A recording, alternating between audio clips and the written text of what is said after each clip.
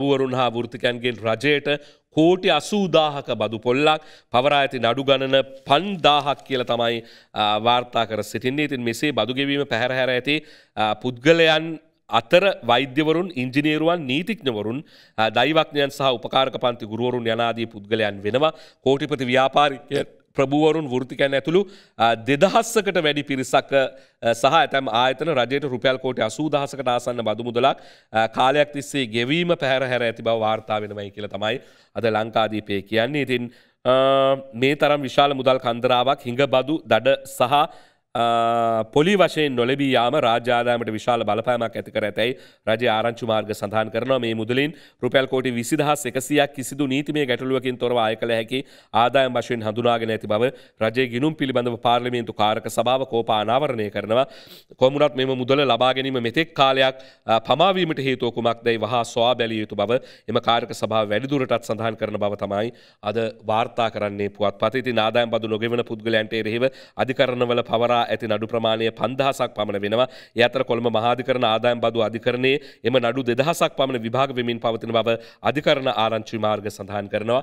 මෙන මේ කුලකැන්වලට අයිතිය තමයි මේ විදිහට කෝටි ප්‍රකෝටි ගණන් බදු ගෙවීම පැහැර හැර තියෙන්නේ කියලා පුවත් පත සඳහන් කරනවා මේ කෝපා කමිටුවේ වාර්තා පදනම් කර ගනිමින් කවුද?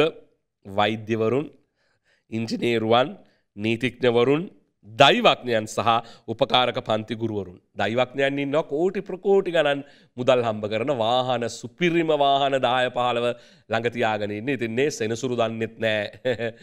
ලංකාව කියල රටක් තින කියල. ඉතින් සෙනසුරට එමනැතම් බ්‍රහස්පතිට සිකුරට කාටහරි පින් සිද්ධ වෙන්න කෝටි ප්‍රකෝටි ගණන් මුදල් හම්බ කරන දෛවක්ඥයන් ඉන්න සත්‍යයක් ගෙවන්න ඊට පස්ස ඉතින් වෛද්‍ය ෘතිකයෝ නීති නීති ෘතිකයෝ ඉන්න පුළුවන් සතයක්වත් බදු ගෙවන්නේ නැති බදු දැලට හුවෙන්නේ නැති. ඊට පස්සේ උපකාරක පන්තිගුරුවරු නේ YouTubeබල හෙම බැලුහම කියනවා මට කෝටියක් එක දවසකට කෝටිය ආදායමක් තියෙනවා.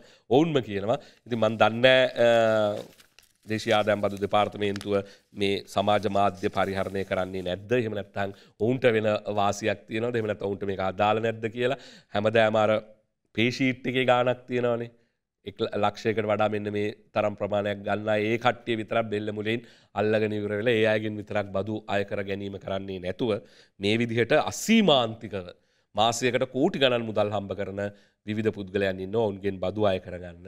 බුදුන් වහන්සේ පවා ලිච්චවීන්ට දේශනා කරන ලද්දේ මල නොතලා රොන් ගන්නාසේ බදු අය කිරීම කිසිදු වරදක් නෑ රටක පැවැත්මකට ඒක අවශ්‍යයි කියලා. ඉතින් බදු ගණ්ඩ පුළුවන් අයගෙන් බදු ගනිත්වා කියල තමයි වාර්තා කරන්නට වෙන්නේ.